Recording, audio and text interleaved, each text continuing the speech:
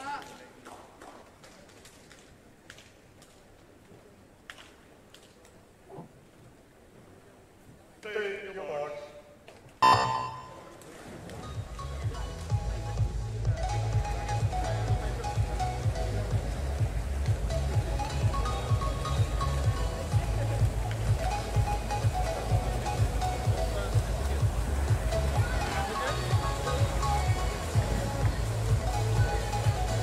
The eighth heat in the water, Jeroen Baarsen, 4, is finishing the eighth time.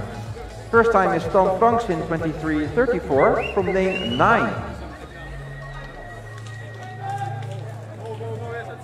The second time Matthew Ward 23.35 and the third time is 23.39 Alexander Trampic.